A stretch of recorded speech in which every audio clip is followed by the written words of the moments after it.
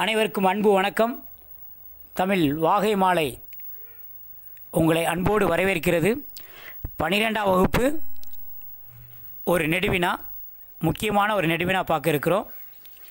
கவிதை எழுத அறிய வேண்டுவனவாக சுரதா கூறுவனற்றை விவரிக்க கவிதை எழுத அறிய வேண்டுவனவாக சுரதா கூறுவன வானம் என்பது ஒன்று. வானத்தில் இயங்குகின்ற நிலவு சூரியன் மேகம் என்பது வேறு. எனவே வானம் வேறு அதில் இயங்குபவை வேறானது. மண் என்பது பூமியை குறிக்கும். அப்பூமியின் மீது கலந்திருக்கும் மணல் பனித்துளி மலை இவையெல்லாம் வேறு. எனவே மண் வேறு அதில் கலந்திருப்பவை வேறு. புண் என்பது அடிப்படுதல். வீரர்களுக்கு ஏற்படுவது விழுப்புண். வேறு வேறானது. புகழும் செல்வாக்கும் வேறு வேறானது. உடம்பிலுள்ள கண்ணும் கல்வி கண்ணும் வேறு. கற்றவரின் கவிநடையும் உரைநடையும் வேறு வேறானது. சமைக்கும் முன்ன முன்வரை சமைக்கும் முன்வரை அரிசி என்றும் சமைத்த பின்பு அதனே சோறு என்றும் சொல்லுகின்றோம். பூக்களை பூப்பதாலேயே பூ என்கிறோம். அதற்கு முன் அரும்பு என்று அழைக்கின்றோம்.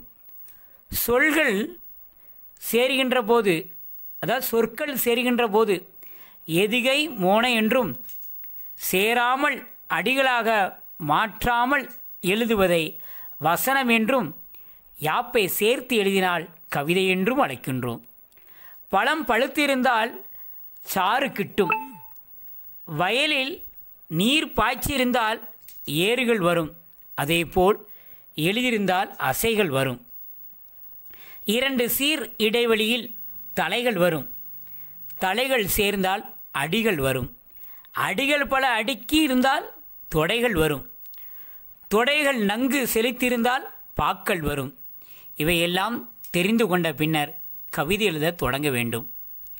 தேமாவும் புளிமாவும் மரத்தில் காய்க்கும். சீர்களிலும் அக்காய்கள் நன்கு காய்க்கும். ஏமாந்தால் சீர்கள் தலையை தட்டும். வெள்ளைப்பாட்டின் இறுதி சீரில் காசு வரும். அதாய் வெள்ளைப்பாட்டின் இறுதி சீரில் காசு தரும். பூத்த பூவில் வண்டு வருவது போது நல்ல புலவரின் பாடலுக்கு கீர்த்தி தங்கும். பூத்த பூவில் வண்டு வருவது போல நல்ல புலவரின் பாடலுக்கு கீர்த்தி தங்கும். சாதாரண மக்களுக்கு விளங்கும் வண்ணம் தமிழ் கவிதை தர வேண்டும். இருவினாலே பயிர்கள் விளையும் சிறந்த கேள்வி எழுப்புவதால் நல்ல ஆராய்ச்சி விளையும். நடு இரவில் குளிர் விளையும். ஆழ்ந்து நுணுங் நுணுங்கந்தோடே பொருளும் உள்ளத்தில் விளையும். மிஞ்சும் அறிவினிலே புகழ் விளையும். இவற்றையெல்லாம் பெரும்பாலும் அறியாமல் எழுதுவோருக்கு புகழும் சிறப்பும் எங்கே விளையக்கூடும்? அனைவருக்கும் நன்றி. இந்த வீடியோ உங்களுக்கு பிடிச்சிருந்தால் லைக் பண்ணுங்கள் கமெண்ட் பண்ணுங்கள் ஷேர் பண்ணுங்கள் மறக்காமல் சப்ஸ்கிரைப் பண்ணுங்கள் அப்படி நோட்டிஃபிகேஷன் பண்ணி ஆன் பண்ணிடுங்க. நன்றி வணக்கம்.